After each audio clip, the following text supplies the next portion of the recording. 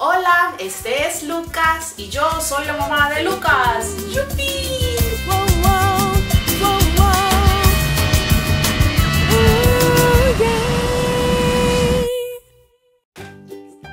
Lo siento, tuve un poco de distracción al momento de grabar este video. Te quiero compartir algunas de las actividades que realicé durante el primer año con mi bebé Lucas. Estas actividades traen grandes beneficios. Entre ellos está el fomentar el vínculo afectivo que debe haber entre mamá e hijo. Esto es algo que también los padres pueden hacer y deberían hacer, participar de estas actividades. Es una excelente manera de estimular el desarrollo de tu bebé según su edad. Es un estímulo para su comunicación. Es importante tener en cuenta que todos los bebés se desarrollan a distintos tiempos y alcanzan su maduración neurológica en diferentes tiempos. Em, hacer estas actividades es una excelente manera de prestar atención al desarrollo de tu bebé y es una oportunidad para detectar a temprana edad alguna falencia o dificultad que tu bebé pueda tener durante su desarrollo y así de esta manera tomar nota y dejarle saber a tu pediatra y poder establecer qué puedes hacer para ayudarle a tu bebé en cualquier cosa que él esté necesitando. Esta es una de las actividades que los bebés más disfrutan y es estar libres, desnudos, sin ropa, sin pañal. Y es algo que puedes hacer todos los días antes del baño. Inmediatamente desnudas a tu bebé, él se activa, empieza a patalear, se ríe, juega, te sonríe, balbucea, lo disfrutan mucho. Y muchas veces lo pasamos por alto, pero eso es algo que deberías hacer todos los días y también es una oportunidad para hacer otros tipos de actividades y ejercicios que van a ser de estímulo para tu bebé. Solo con el propósito de hacer este video es que he dejado el pañal. Quiero respetar la privacidad de mi bebé. Cuando vayas a hacer estas actividades, como tu bebé va a estar desnudo, cuida de que la temperatura ambiental de la habitación esté eh, cómoda y también cuídalo de cualquier corriente de aire. Esta actividad es un juego, es una distracción, es un estímulo para tu bebé, pero también es una buena manera de repasar cómo va tu bebé en su desarrollo de la visión, del tacto y de su oído. Con la ayuda de un juguete, llama la atención de tu bebé. Presta atención a cómo reacciona él al sonido, si lo está siguiendo con su mirada, cuando lo mueves de un lado al otro o si está intentando agarrarlo, alcanzarlo. Cualquier cosa que notes que no está bien con tu bebé, toma nota y consúltalo con tu pediatra en la siguiente cita de tu bebé.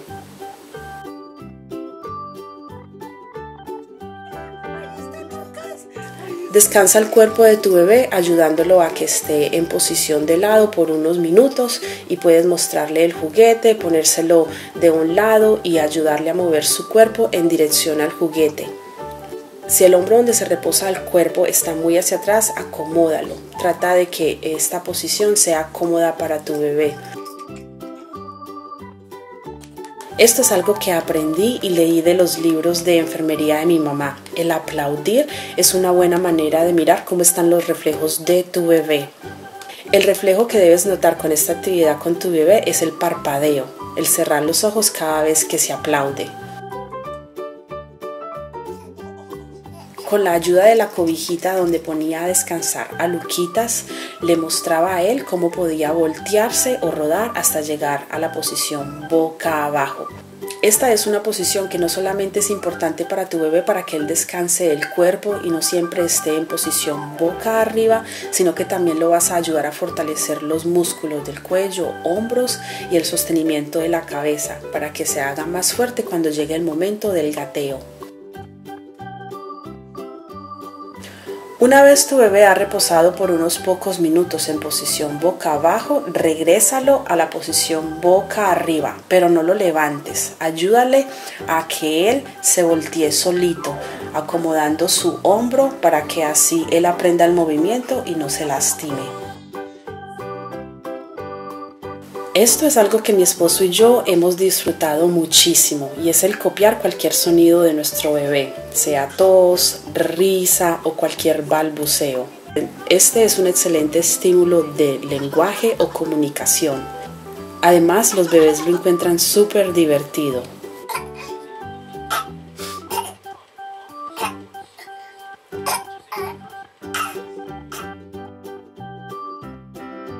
Los móviles es algo que los bebés disfrutan muchísimo. Los de nivel comercial creo que solamente cumplen el propósito de ser decorativos. Yo te invito a que crees el móvil de tu bebé en casa. Te puede salir gratis porque puedes reciclar cosas que ya tienes en tu hogar y además va a ser más versátil porque conforme tu bebé va creciendo y su interés cambia, puedes ir transformando el móvil. Durante las primeras semanas de un bebé recién nacido, su visión aún no es muy definida. Es por eso que algunos profesionales recomiendan hacer móviles en colores oscuros y claros, blanco, gris y negro. Luego lo vas a ir transformando a algo que sea más llamativo, como lo podrían ser luces, sonidos y cosas que brillen mucho, porque después de los dos meses los bebés sienten una atracción hacia la luz, lámparas, ventanas, y espejos y poco a poco lo sigues transformando de manera que encuentres cosas que tienes en casa para hacer que el móvil sea llamativo para tu bebé y también estimularlo en diferentes maneras, como en sonidos puedes agregar cascabeles teniendo en cuenta que los debes sujetar muy bien para que después no se vayan a caer y tal vez tu bebé los vaya a llevar a la boca. Yo utilicé muchas cintas porque esto ayuda a la motricidad fina, porque tu bebé va a estar tratando de agarrar estas cinticas y debes tener cuidado también porque como son muy largas, tu bebé se puede enredar en ellas. Yo siempre utilicé el móvil eh, con Lucas cuando estaba bajo mi vigilancia. El resto del tiempo el móvil no estaba ni en su cuna o no estaba cerca a su alcance. El móvil también lo hice de manera que lo pudiera poner y quitar, así que lo transportaba a diferentes espacios de mi casa y así Lucas podía jugar con él no solamente en la cuna, sino también en su silla o cuando teníamos momentos de fuego en el suelo. Las tiritas, las tiritas, las tiritas de Luquitas, del móvil, del móvil, del móvil, de Luquitas. Ahí vamos. Uno, dos y tres. ¿Dónde está Lucas? ¿Dónde está Lucas? ¡Ay! Jugar a las escondidas significa un momento largo de distracción porque lo repites y lo repites y entre más lo haces, los bebés más los gusta y más lo quieren hacer. Es bueno jugar a las escondidillas cuando te escondes detrás de una puerta o una pared, pero esta me gusta mucho porque hay una interacción con tu bebé y también le estás ayudando a dar como eh, un estímulo al racionamiento, es decir, cuando le tiras esto a la cabeza a tu bebé, inmediatamente él está entendiendo que se lo tiene que quitar de la cabeza y que lo va a soltar para que la mamá nuevamente lo coja y vuelva el proceso de tirárselo en la cabeza. Entonces es repetitivo y él va entendiendo cómo es que es la dinámica del juego, algo muy bueno para estímulo para tus bebés en comprensión y te sugiero que utilices una prenda muy ligera, pequeña, que sea fácil de manipular por tu bebé. Y disfruta de sus carcajadas. Considero que es muy importante dejar que los bebés sacien su curiosidad en todos los sentidos, del tacto, del oído, de la visión, del olor, sabor, etc. es bueno que dejes que tu bebé coma cositas solo, pero ten en cuenta que tienes que utilizar cosas que sean muy pequeñas y fáciles de digerir para evitar que tu bebé tal vez se ahogue. Yo utilizaba mucho banano, eh, los arándanos cortados por la mitad, también le daba arroz cocido y le gustaba mucho. Y también le permitía jugar solo bajo supervisión con el arroz crudo. Esto es muy bueno para el estímulo del tacto. Si tu bebé es de los bebés que es muy activo en el sentido de ponerse todo, eh, todo el tiempo cosas en la boca, te sugiero que cuando vayas a hacer esta actividad con tu bebé le dejes que esté chupando su chupa o entretenedor. Así él se distrae chupando su entretenedor y no va a sentir la necesidad de llevarse estas cosas a la boca el desastre. Después para limpiar es harto, pero vale la pena.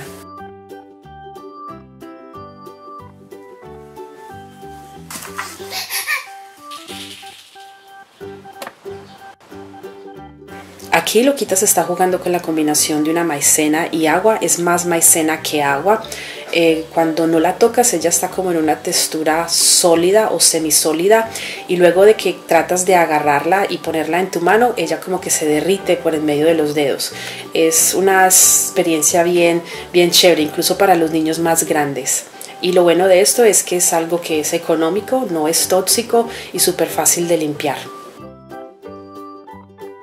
Hacer montañas con almohadas es una buena idea para la etapa del gateo o cuando tu bebé empieza a caminar. ellos les encanta subir, bajar, pasar obstáculos y lo quieren repetir una y otra vez. Haz de esta actividad algo seguro, aleja los muebles, cubre el suelo con cobijas para crear una superficie acolchonada. Invita a tu bebé a escalar la montaña utilizando un juguete para llamar su atención y con el tiempo y a medida que tu bebé crece puedes crear eh, incorporar otras ideas como túneles, obstáculos, etc. Permite que tu bebé sacie la curiosidad. Esto es muy importante para su desarrollo. Verás cómo poco a poco él va adquiriendo experiencia. Es importante fijar limitaciones para evitar cualquier accidente pero también es importante no abusar de las prohibiciones, tener un balance. Y recuerda que tu bebé tiene necesidad de descubrir y de saber. Espero te haya gustado este video y te hayas llenado de ideas para disfrutar de tu bebé durante el primer año. Te quiero invitar a que te suscribas para que así estés a la actualidad en todas las cositas que quiero compartir contigo semanalmente. Te espero por mis redes sociales donde puedes también dejar tus sugerencias o comentarios o inquietud que tengas y será hasta el próximo video. Chao.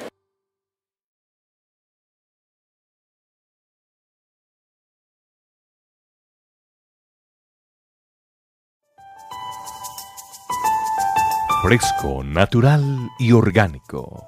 Es Pintumeiro. Belleza natural.